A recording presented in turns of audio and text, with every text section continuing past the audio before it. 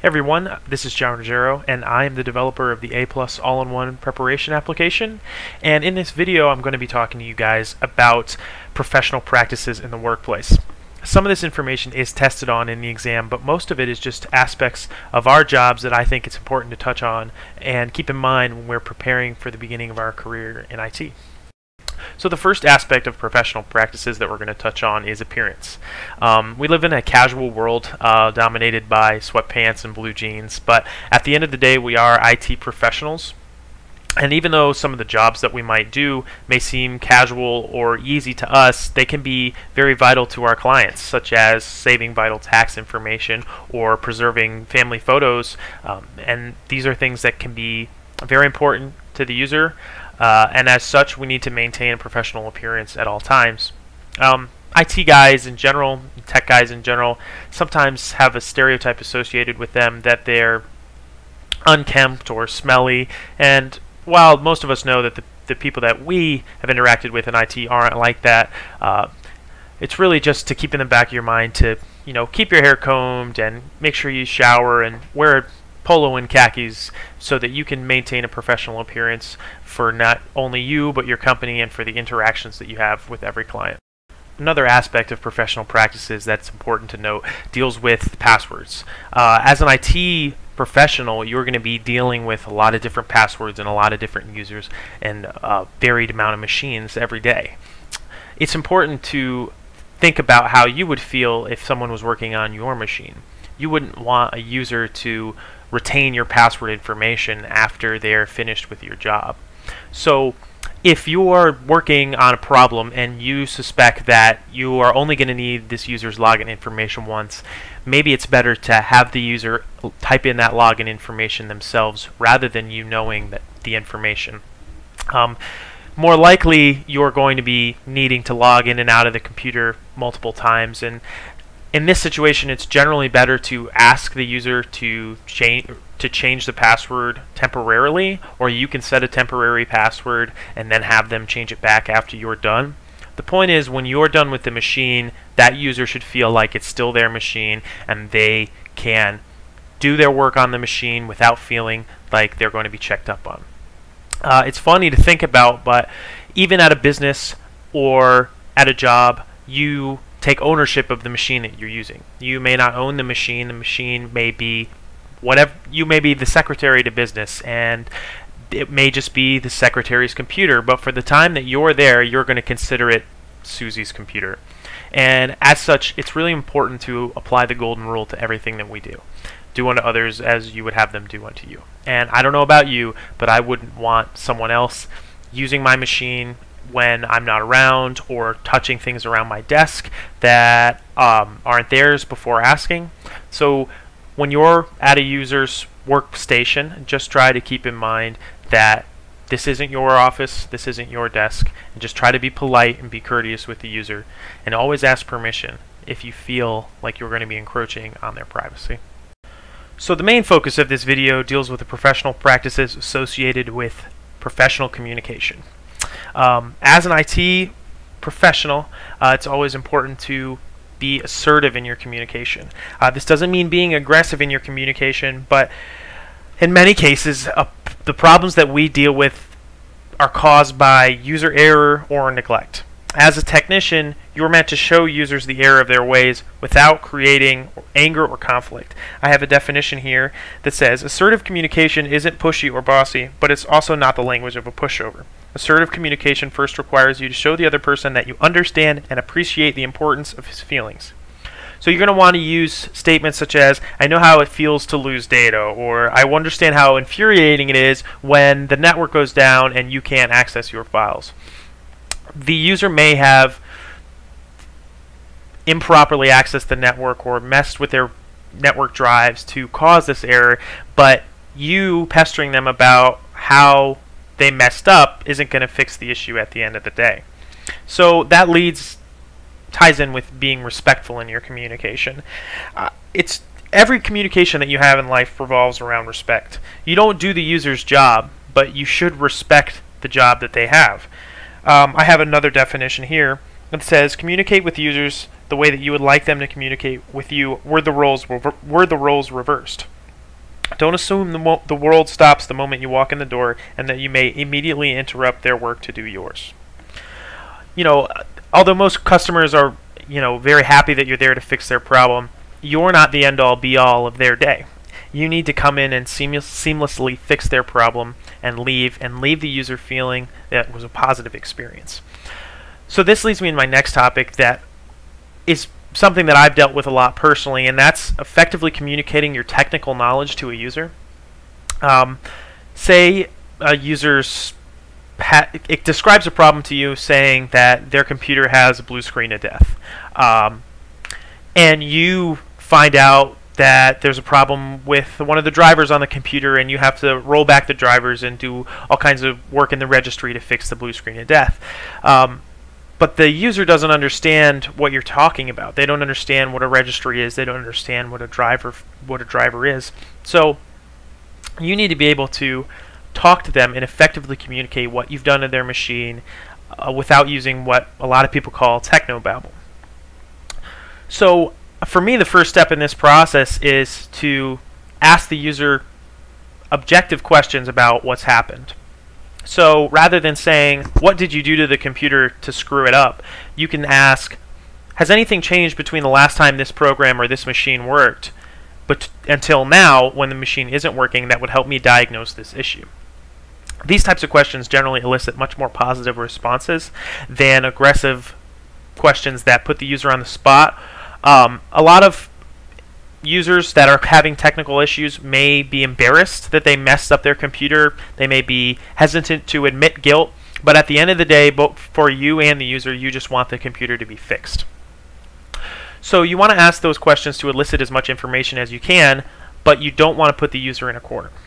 So after you ask those questions and you work on your, you the problem and hopefully you fix the problem, it's always important to talk to the user about what they might be able to do to prevent the problem in the future.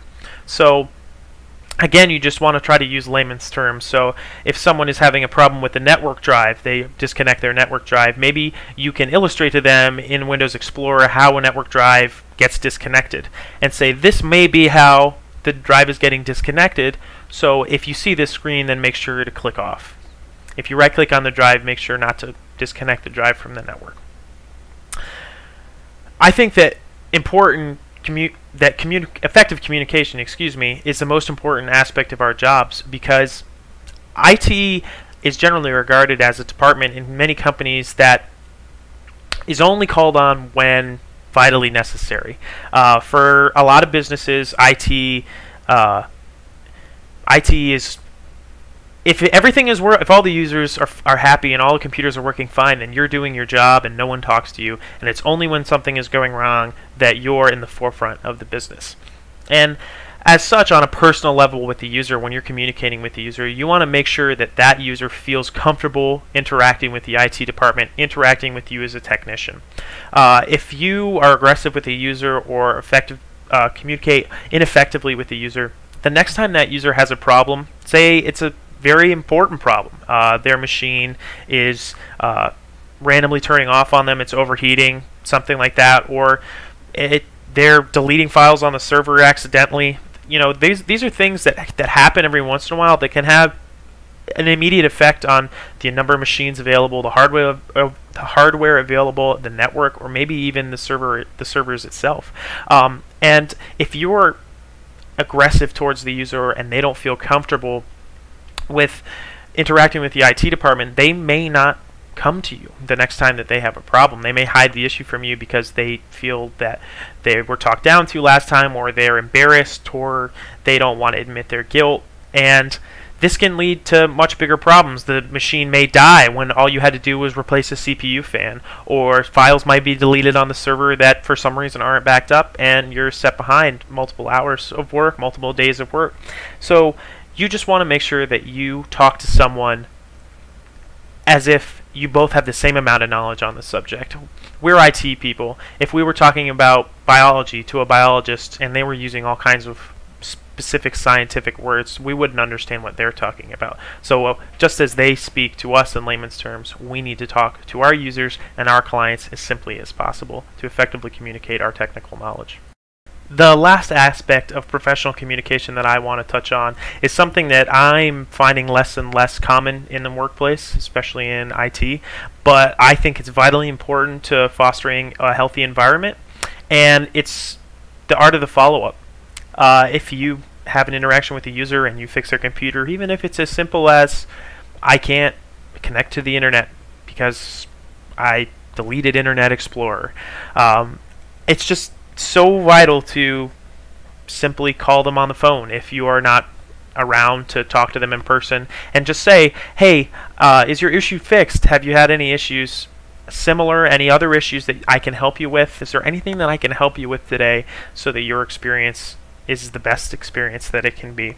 This gives the customer a chance to detail any special issues that they've encountered uh, that may have arisen, arisen, and it just adds that final touch uh, that ensures that they're going to call on you again when they encounter a technical problem. And this is just, I can't stress how important this is um, in creating a link between the, the IT department and the other departments in a business.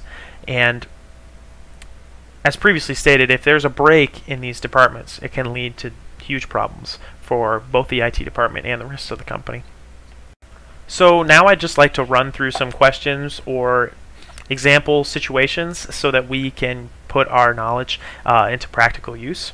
So the first question would be, um, which of the following would be most appropriate for the workplace? Uh, clean pressed khaki trousers, clean wrinkle-free t-shirt, clean wrinkle-free polo shirt, and clean pressed jeans. Uh, so if you had to select two, uh, it's safe to say that the khaki trousers and the polo shirt would be the most appropriate for the workplace. While your t-shirt and your jeans may be clean, they don't elicit a professional environment and the user may not take you as seriously, you may not take your job as seriously because it doesn't feel like work, it just feels like you're hanging around with a friend. Um, the next situation is, say you're manning a help desk and you get a call from Sharon in the accounting department and she's lost a file that she claims she knows is saved to her hard drive.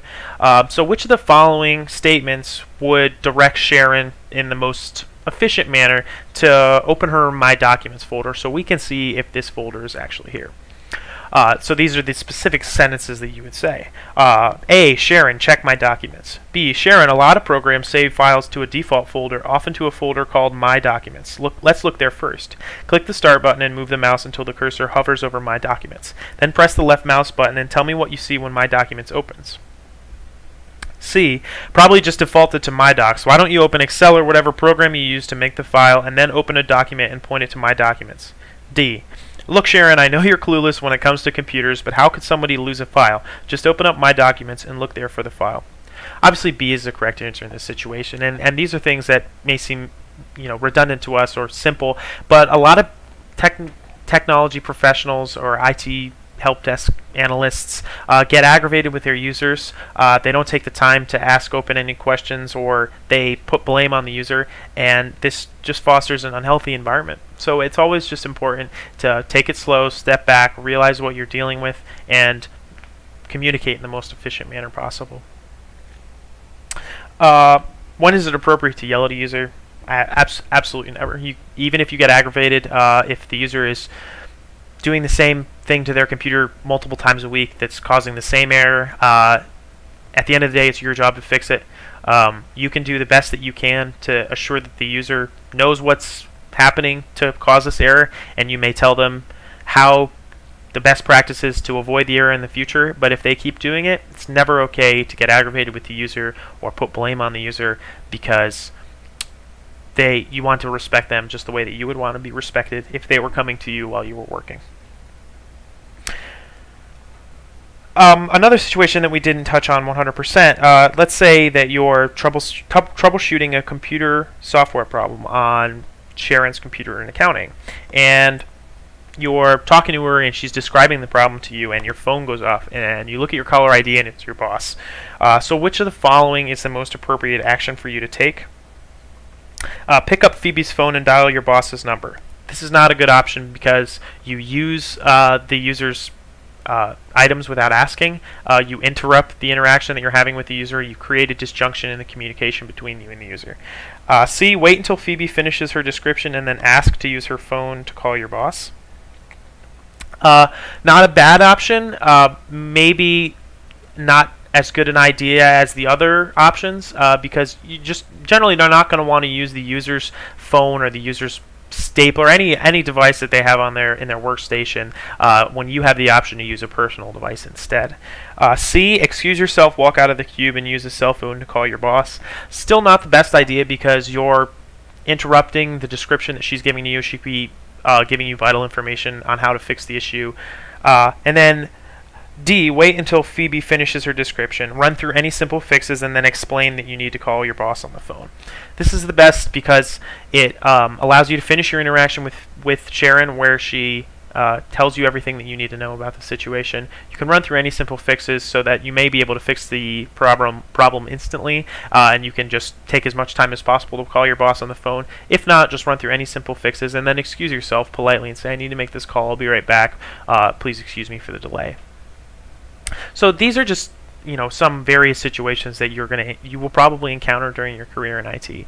Um, many of us keep in mind these things on a daily basis in our general communication, but it's always important to remember uh, that you should treat others the way that you would want them to treat you.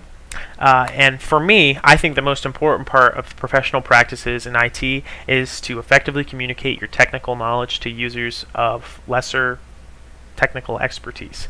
Uh, I think that if you can always keep in your mind that you need to use layman's terms and simple conversation and foster a healthy environment of commu communication, uh, you will create great links between yourself and the IT department and other departments of the business. You will have better reviews when you're working for a user and they report on the encounter. Uh, you may be noticed by upper management. They say that you have great communication skills, you work well with others. They may fast track you for uh, uh, an advancement in your position at the end of the day, it's just important for you to realize that everybody's on the same playing field when you walk into a room to fix a problem. If you keep this in mind, not only will you pass your A plus exam, but you'll have all the tools necessary to begin a beautiful career in information technology. Thank you.